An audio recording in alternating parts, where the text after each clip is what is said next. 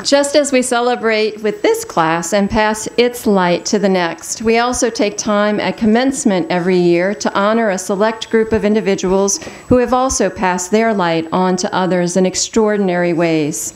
Earlier this semester, we presented the university's highest non academic award, the Wittenberg Medal of Honor, to the Honorable William A. McLean, class of 1934 and we will do the same posthumously this fall for a beloved member of the Wittenberg community and former board member, Charles D. Weller, better known as Chad, who passed away last year. May their light continue to inspire current and future students for generations to come.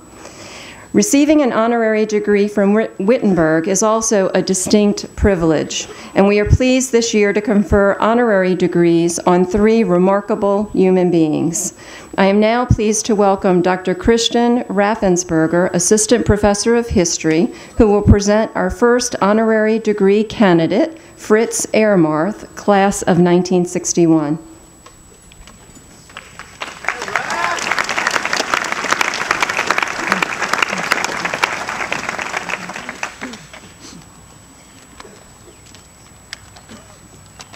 Aaron didn't change my book. Where are we? There we are. All right.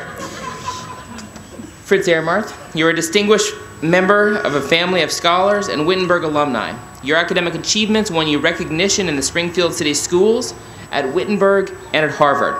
You graduated from Wittenberg magna cum laude at age 20, and your many academic honors have included membership in Phi Alpha Theta and Ford and Wilson fellowships. You've served your country through work with the RAND Corporation, Radio Free Europe, and for 25 years, the Central Intelligence Agency. As head of the National Security Council Strategic Planning Unit, as Special Assistant to President Reagan for Soviet and European Affairs, as Chairman of the National Intelligence Council, and as Director of National Security Programs at the Nixon Center. Your decades of work analyzing the Soviet Union and Eastern Europe earned you the Distinguished Intelligence Medal the National Intelligence Distinguished Service Medal, as well as the respect of your colleagues. One of those colleagues calls you a towering intellect who combines great personal integrity with impressive expertise in international relations. An outstanding man who gave his professional life to the service of America's national interests. In your lifetime of scholarship and public service, you've made your family and your alma mater proud. You've more than fulfilled the expectations of those Wittenberg professors who described you six decades ago as a person of fine intellectual capacities, personal integrity, and courage, a superior student with intellectual gifts of a high order and with considerable imagination and resilience in his thought processes, one of the most promising students I've ever sent up to graduate school. President Joyner, Fritz W. Ermarth.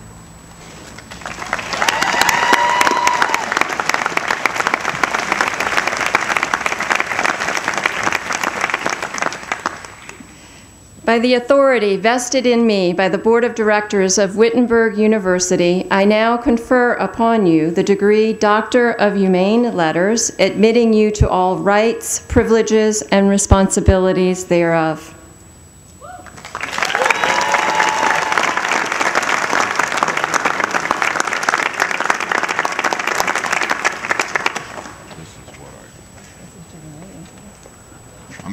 this in Cheyenne, Wyoming at Frontier Days.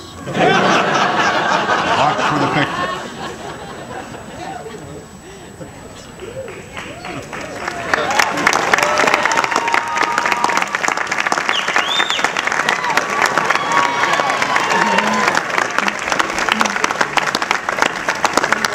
I am now honored to ask Dr. Dar Brooks Hedstrom, Associate Professor of History, to come forward.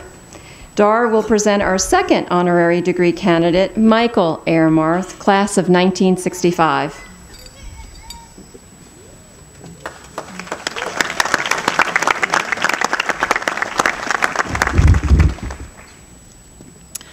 Michael Ermarth, you exemplify the mission of Wittenberg University in your devotion to intellectual rigor and your commitment to undergraduate student learning in a life of university service. Following in the footsteps of your mother, Margaret Ermarth, a beloved Wittenberg history professor, You completed a degree in history at Wittenberg before earning a doctoral degree in history from the University of Chicago in 1973. In your professional life, you spent a career cultivating the liberal arts, serving the historical profession with your scholarship, and devoting your time to students at Dartmouth College from 1971 until your recent retirement. At Dartmouth, you taught German history and Jewish studies, but you also directed honors theses and chaired the history department. Your scholarly work has engaged difficult transnational issues of ethnicity, culture, and identity, especially in relationship to the lives of Germans, both at home and abroad. Yours is a life that embodies the liberal arts mission of creating the whole person. You combine a commitment to scholarship and teaching with a full life that en encompasses outdoor activities such as skiing and climbing. Music is another way in which you express your creativity. Most importantly, your colleagues and former students speak of the combination of erudition and generosity that you bring to your endeavors. Certainly, these qualities show you to be the Wittenberg alumnus who understands the university's motto having light, we pass it on to others. Michael, your commitment to helping enrich the lives of others, both in the United States and worldwide, makes us proud to name you as a distinguished member of the Wittenberg community. President Joyner, Michael Ermarth.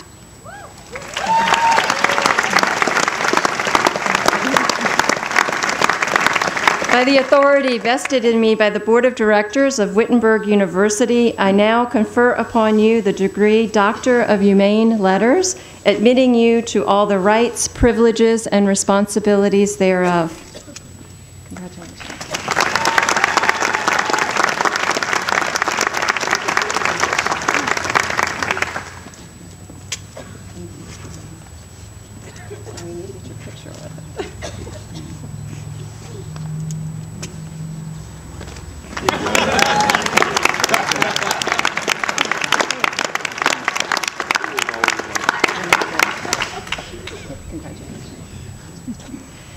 I am now pleased to welcome Dr. Tom Kaplan, Professor of Business and Ness Chair in Entrepreneurship, who will present our final honorary degree candidate, Matthew R. Shay, class of 1984.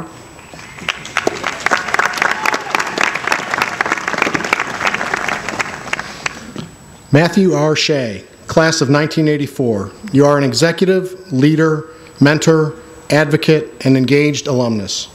In addition to your Wittenberg degree in political science, you are a graduate of the Ohio State University College of Law and hold a master's degree in business administration from Georgetown University's McDonough School of Business. As president and chief executive officer of the National Retail Federation, the world's largest retail trade association, you serve as chief advocate for more than 3.6 million U.S. businesses that employ more than 42 million workers and generate $2.5 trillion in annual sales. You have led the NRF to new levels of effectiveness on policy issues, increased awareness of the industry's economic impact, and effectively advocated for public policy on behalf of your members. Under your leadership, the Federation held the most successful convention in its 100 year history while scoring a number of legislative victories on behalf of the retail industry. You have been recognized by CEO Update as one of the top 50 nonprofit chief executives in Washington. Your service on a number of boards, including the U.S. Chambers, Chamber of Commerce Association Committee of 100, representing the nation's leading industry and trade groups, is especially notable. Your previous service as president and CEO of the International Franchise Association, representing more than 1,200 franchisors, resulted in an aggressive public policy agenda and led to a series of initiatives to restore the flow of credit to cash strapped retail and other franchise businesses during the national recession. In your personal and professional life, you reflect the very best of Wittenberg University. President Joyner, Matthew R. Shay.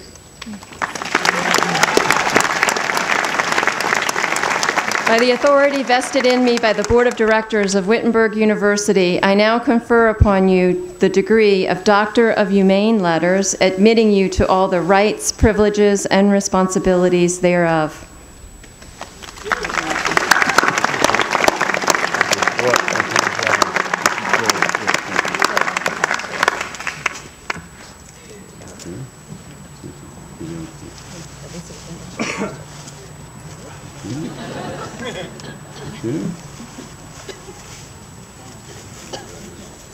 I'll wear it on Capitol Hill.